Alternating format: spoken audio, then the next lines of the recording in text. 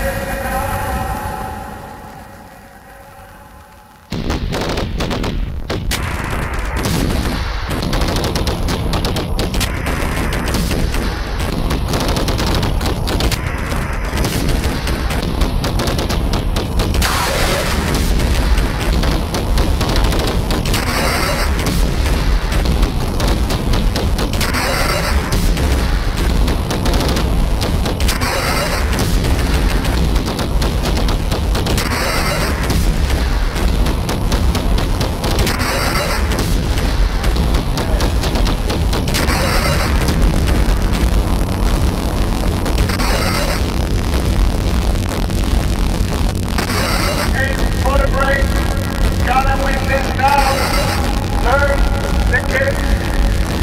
Eight Grade, James Ford Grade, another win this now.